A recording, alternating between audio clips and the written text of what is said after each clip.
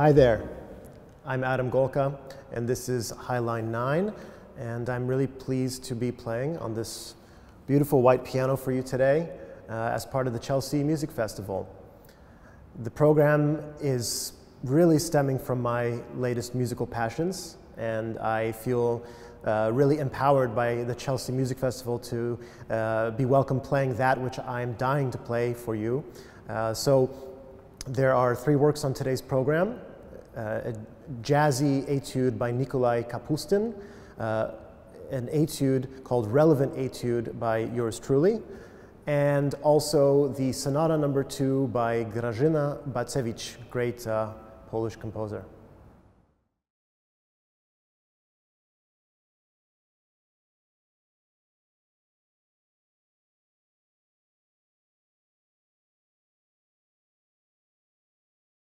The three pieces on today's program are things that I've specifically become interested in in the last few months. Uh, obviously, there's been more time at home, more time to dabble and explore my passions and interests. Uh, and one of those is sort of a revisiting, which is the work of Nikolai Kapustin.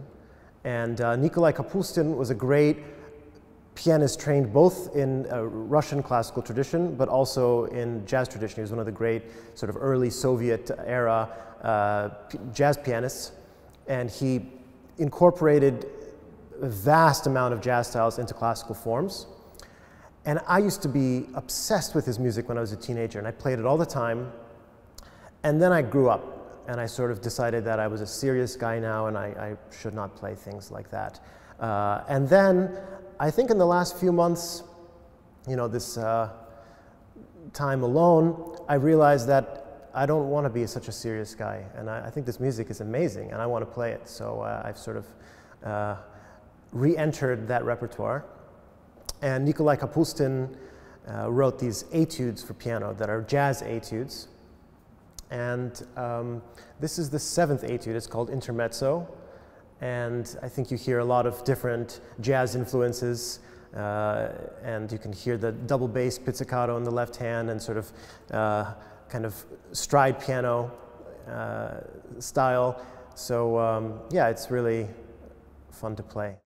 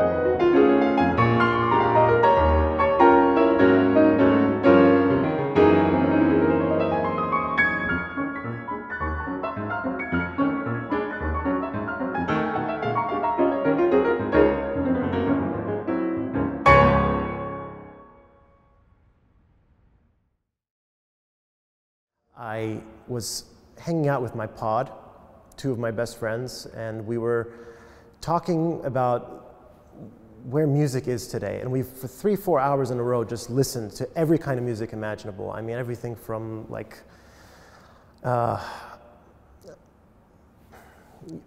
Brad Mehldau to George Benjamin to uh, uh, Punch Brothers to Michael Jackson to um, Billie Eilish to uh, Ligeti, everything, you know? And we were just kind of philosophizing about what the common thread is in all music that's being written today, any style, whatever. I mean, I only named a, a tiny fraction of it. And the, the big argument was sort of about relevance of music. What is the relevance of music in different styles uh, to our world?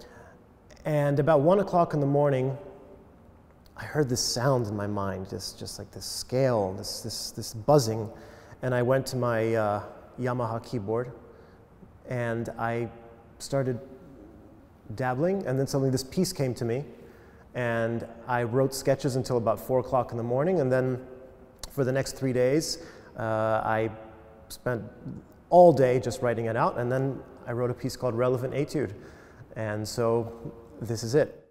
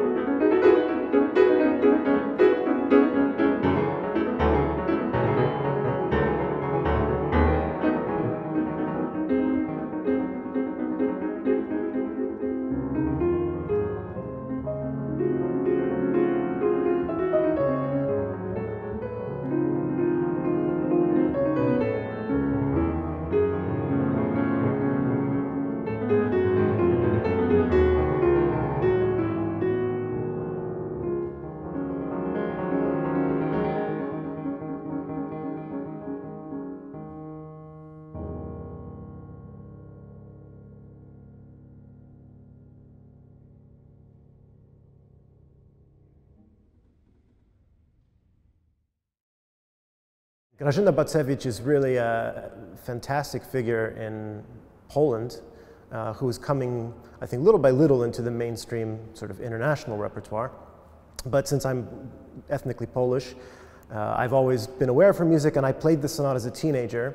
And it's another one of those pieces that I wanted to play and I wanted to come back to, but never did since my teenage years for reasons I don't really know. I just didn't. I didn't have a chance. Life's busy. And then all of a sudden I was at home with a lot of time to spare. So I started playing it again. And Grażyna Bacewicz was an incredible uh, genius, uh, a virtuoso violinist and pianist, uh, mainly a violinist, but she could play this piece, so that says something. Uh, it's a you know, colossal piece. And um, she wrote for film and television in Poland and was uh, influenced by, I would say, Prokofiev, Shostakovich, certainly uh, uh, Szymanowski. But she also very much developed her own harmonic language that doesn't sound like anything or anybody else that I can, I can think of, uh, with some maybe jazz influence in Polish folklore.